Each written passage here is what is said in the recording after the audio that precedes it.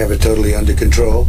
It's one person coming in from China. We think we have it very well under control. We pretty much shut it down coming in from China. You know, in April, supposedly it dies with the hotter weather. When it gets warm, uh, historically, that has been able to kill the virus. People are getting better. They're all getting better. And the 15 within a couple of days is going to be down to close to zero. It's going to disappear. One day it's like a miracle. It will disappear. And you'll be fine. Uh, they're going to have vaccines, I think, relatively soon. Not only the vaccines, but the therapies. Therapies is sort of another word for cure. You're talking about very small numbers in the United States. Our numbers are lower than just about anybody. It's really working out and a lot of good things are going to happen. And we are responding with great speed and professionalism. It's going to go away. Yeah, no, I don't take responsibility at all. We're going to all be great. We're going to be so good.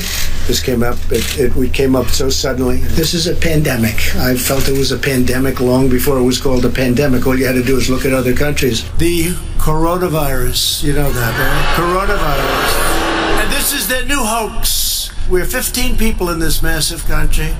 And because of the fact that we went early. We went early. We could have had a lot more than that. We're doing great. Our country is doing so great. 15 people, and the 15 within a couple of days is going to be down to close to zero.